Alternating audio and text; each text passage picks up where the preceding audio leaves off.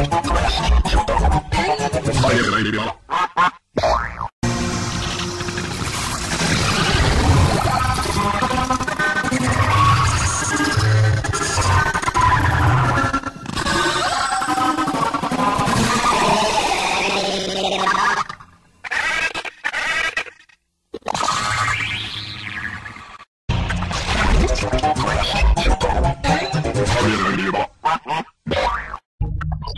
Thank